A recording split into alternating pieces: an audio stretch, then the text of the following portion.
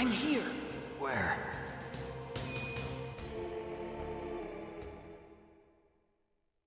It's me. Otacon. Wow, they even captured you. Hurry, get me out of here.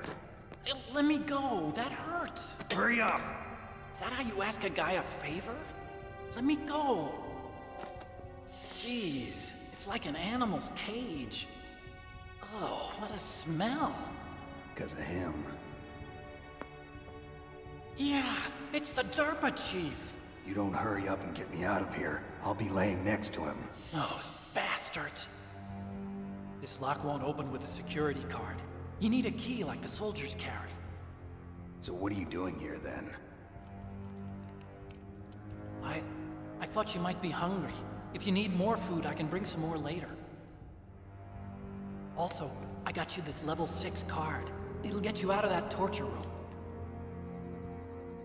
Take this too. What's this?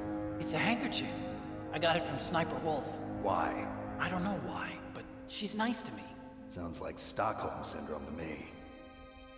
I was taking care of the dogs here. After the terrorists took over, they were planning to shoot all the dogs.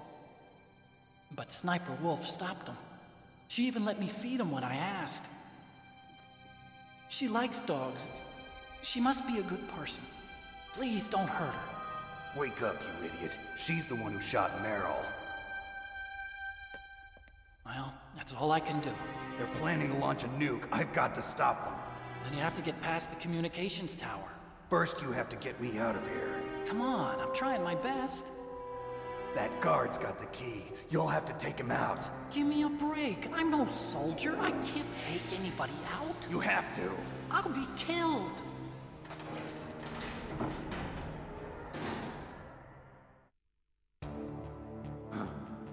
Jeez.